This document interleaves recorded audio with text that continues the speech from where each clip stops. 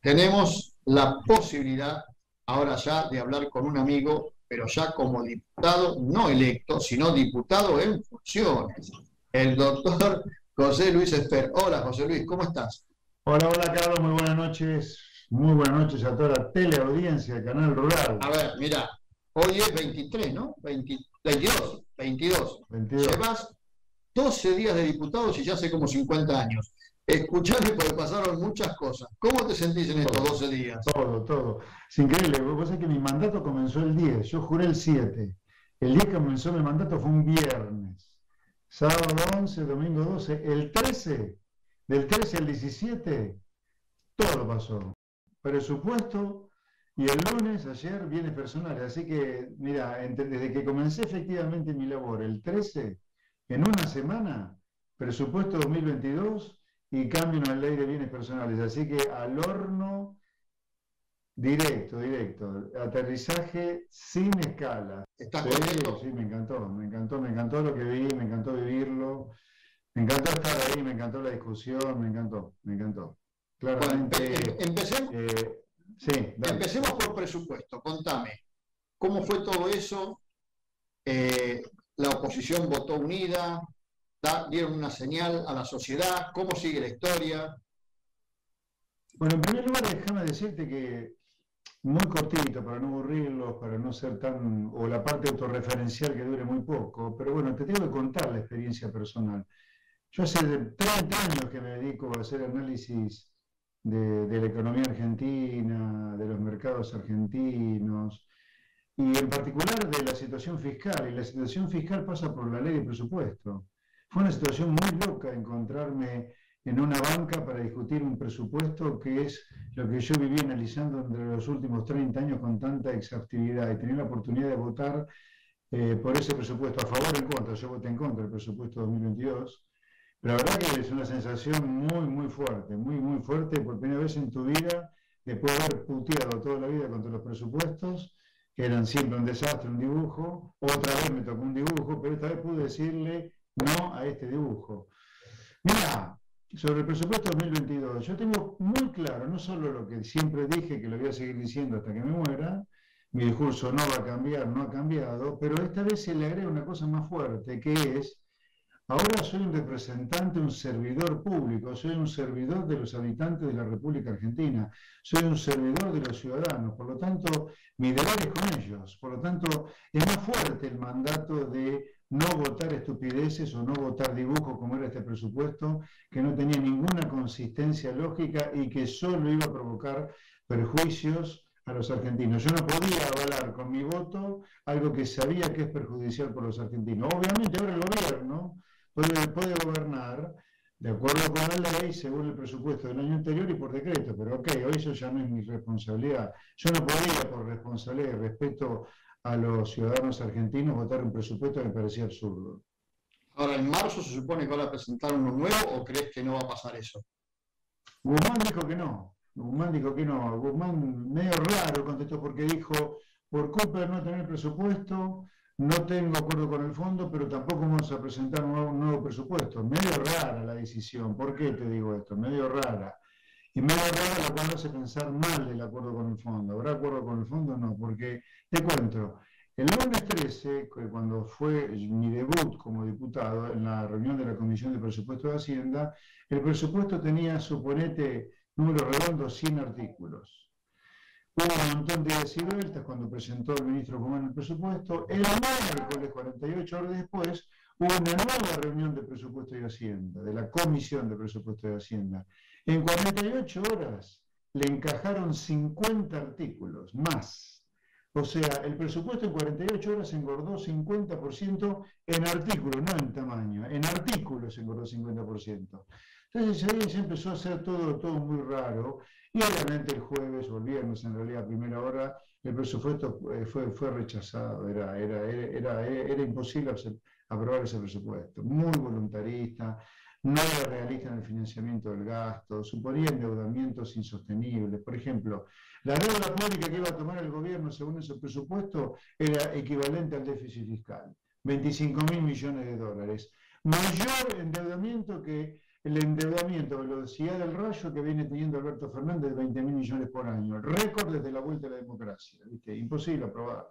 Imposible. Ahora, decime una cosa, mm. eh, porque lo mencionaste muy al pasar. Si no hubiese acuerdo con el fondo, ¿qué 2022 nos espera? Eh, de crisis. Y 2022, eh, con un acuerdo con el fondo, también nos augura un año jodido, pero sin acuerdo con el fondo ya es crisis, crisis jodida, te diría, crisis jodida. ¿Por qué? Porque no tener acuerdo con el fondo va a implicar defaultear la deuda con el fondo. Y sería enemistarnos con todo el mundo, estar afuera del Fondo Monetario. O sea, no vamos a tener que vivir a Marte, donde no hay oxígeno, qué sé yo. Escuchar otra cosa, pues te quiero aprovechar el poquito tiempo que tenemos. Ayer, lunes, la oposición supuestamente forzó para tratar bienes personales con la intención de... Sin duda que forzó, forzó un debate. Forzó un debate para bajar impuestos. Y terminó ganando el oficialismo. Explícame esa.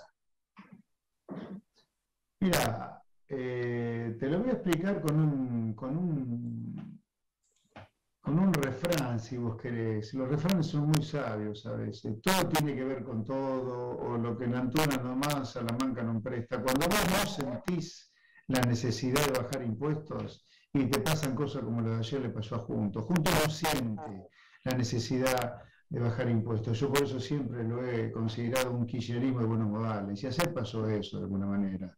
Faltaron tres diputados. Uno, Camila Crecementi, creo, estuvo con COVID, ponele pero tenían dos dando vuelta por el mundo, una por Disney, ¿viste? O sea, ¿cómo se te pueden escapar dos diputados que estaban sanos para poder sesionar, ¿viste? Eh, increíble, increíble que al final, como consecuencia que no dio el número, terminó ganando el oficialismo y al ganar el oficialismo, y el kirchnerismo, eh, se terminó aprobando, nosotros votamos en contra, por supuesto, se terminó aprobando una suba de bienes personales para financiar la baja de bienes personales que venía eh, con media sanción del Senado. Una cosa ridícula, una cosa ridícula.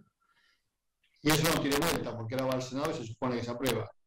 Sí, se supone que se aprueba. Ahí Cristina va a llamar a sus senadores para que sesionen el 29 y se va a aprobar.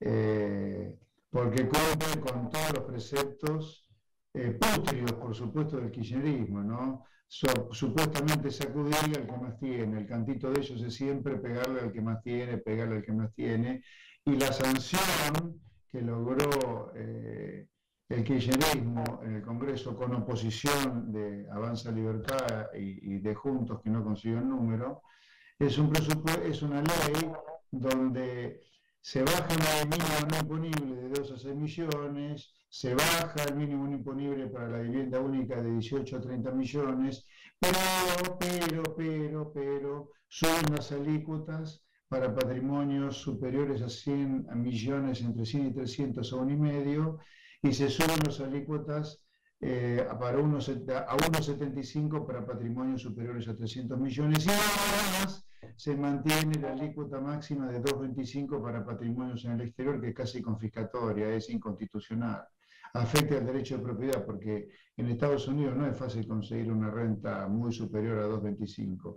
Ni hablar, ni hablar, como no el Tesoro Americano, desde ya que no, ni hablar cuando tuviste que pagar en 2020 el impuesto a las grandes fortunas, cuya alícuota máxima era de 5.25, que se sumaba a la alícuota máxima de bienes personales de 2.25. O sea, en 2020 se llegaron a pagar hasta 7,5% por patrimonios ubicados en el exterior. Anda a ganarle alguna inversión de bajo riesgo, 7,5%, un delirio, un delirio, un delirio. Decime una cosa, el, lunes eh, fue esto que comentamos recién y antes había sido lo de presupuesto que generó mucha expectativa y tenía favorable de parte de, la gente.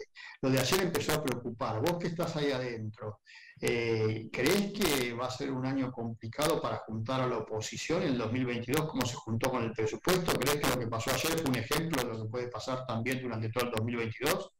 No, no, porque también alguien podría decir que el ejemplo de lo que iba a pasar en 2022 era lo que pasaba eh, durante eh, lo que pasó en el presupuesto. No, no, yo no diría ni es representativo del 2022 lo que pasó el viernes con el bochazo del gobierno del presupuesto, ni representativo tampoco lo que pasó ayer, donde a la oposición el gobierno le bocha su baja de bienes, su baja de bienes personales. Me parece que vamos a andar ahí entre lo que pasó el viernes con la derrota del gobierno por el presupuesto y lo que pasó ayer lunes con la derrota de la oposición al tratar de bajar impuestos.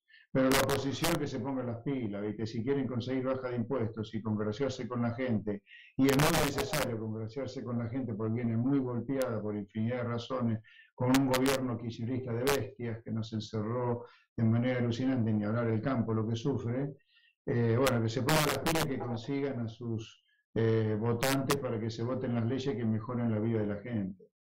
Hablando de, para que tengas una idea, para que tengas una idea, Bienes personales, primero, no debería existir como impuesto, no debería existir, porque es un caso típico de doble imposición. Vos ya pagás impuestos a las ganancias sobre las ganancias necesarias para comprarte los bienes personales. O sea, es un caso típico de doble imposición. Después provoca una discriminación en que el, rico que usa la plata para vivir de farra o el rico que tiene bienes. El que vive de farra no paga bienes personales, el que tiene bienes sí. Eh, luego, este, es un impuesto que debería haber desaparecido en el año 99, porque la ley que lo crea en el 91 establecía como fin del tributo el año 99. Estamos en el 2021, 22 años después, y seguimos con el impuesto. Si un impuesto no debería existir directamente, una aberración total, total, total. Desde todo punto de vista es una aberración el impuesto a los bienes personales. Habría que eliminarlo el impuesto. Lo mencionaste al pasar y siempre, siempre hablamos del tema lo que sufre el campo, dijiste, mientras ustedes estaban con el presupuesto y con bienes personales, este, salieron algunas resoluciones que muestran un nivel de intervención ya que asusta. Si bien blanquearon mucho de lo que estaba ocurriendo, vos sabés que salieron volúmenes para limitar las exportaciones, lo que se llaman volúmenes de equilibrio, cupos, si querés, este, yo le puse el sistema soviético como nombre, y por otro lado salió la posibilidad de un sistema de fideicomiso para restarle ingreso a los productores, para dárselos en compensación a la industria molinera, a los productores avícolas. Eh, lo mismo que había vigente, si querés, entre el 2005 y el 2015. ¿Qué, qué te lleva a pensar todo esto? Eh, la misma ignorancia, el mismo revanchismo y odio que el kirchnerismo le tiene al campo de siempre, más eh, la corrupción del kirchnerismo de siempre, porque ese fideicomiso que se utiliza para poder compensar a los molineros de la suba de precios que hubo en el precio del trigo, dado que tienen congelado el precio de la harina, es corruptela a mano poder. Así que eh, la, la ignorancia y el revanchismo de siempre con el campo mezclado con la corrupción, típicamente kirchnerista. Con el campo el gobierno es ignorante y corrupto siempre. José Luis, la última y no te pones trabajo, sé que tenés mucho trabajo. Eh, ¿Te quedaste conforme con el resultado de las elecciones o esperabas más o menos? No, no, no. Lo que logramos fue histórico. Con dos escarbadientes como tuvimos, realmente conseguir casi ocho puntos en la provincia de Buenos Aires. No, dos escarbadientes, ¿viste? ¿Cuántos carteles viste Píparo y yo en el interior de la provincia? Dos o tres en la Panamericana. Después no tuvimos para mucho más. Recorrimos con la plata nuestra de la provincia, este, la poquita plata que recibieron nuestros partidos, también un poco. La verdad que con dos escabarientes, haber sido la tercera opción electoral en la provincia más grande de la Argentina, con un discurso muy claro, muy concreto de lo que hay que hacer, muy contra el sistema, por supuesto, porque lo que hay que hacer es todo contra el sistema, no con el sistema democrático, sino contra el sistema que nos empobrece. La verdad que estamos muy contentos. Hicimos una elección histórica. Vos sabés que la, eh, no, solo fui el candidato más votado de los liberales en todo el país, 700.000 votos, sino que además desde el 83 para acá fue la mejor elección histórica de los liberales en una legislativa en la provincia de Buenos Aires. Así que estamos muy, muy contentos, muy contentos. Muy esperanzados también, porque la verdad que si hay alguna lucecita de esperanza es que nosotros tengamos cada vez más poder, cada vez más significancia en la opinión pública. El resto son parte del problema, la verdad. Y la última, de Chusma nada más. ¿Estás enojado con mi ley? No, para nada, para nada, para nada, para nada. Él decidió eh, armar su bloque propio, no quiso armar interbloque conmigo, pero hay que respetar las decisiones de la gente. Lo lamento porque un, bloque, un interbloque de cuatro hubiera sido más fuerte, pero eso no quita, fíjate vos, que votemos sin estar en el mismo interbloque, votemos en el mismo sentido. Los dos votamos en contra de la ley de presupuesto, los dos votamos en contra de la ley de bienes personales que puso el gobierno. Los dos hemos firmado una carta que se hizo pública hoy de varios diputados nacionales eh, rechazando el pase sanitario. Así que lo que importa es que se vote a favor de proyectos que le beneficien a la gente, que le solucionen los problemas a la gente. El espíritu de cuerpo está medio sobreestimado. Fíjate vos de qué sirvió Junto por el Cambio ser Junto por el Cambio si no consiguieron dos, dos legisladores para abochar el presupuesto demencial que presentó la Comisión de Presupuesto de Hacienda, donde el kirchnerismo tiene mayoría. Te mando un abrazo y vamos a seguir hablando. Gracias, Carlos. Muy buenas tardes y muy buenas noches, perdón, y un gran saludo a toda la teleaudiencia agropecuaria que nos estaba mirando. El mejor de los saludos. Un abrazo, seguimos hablando. José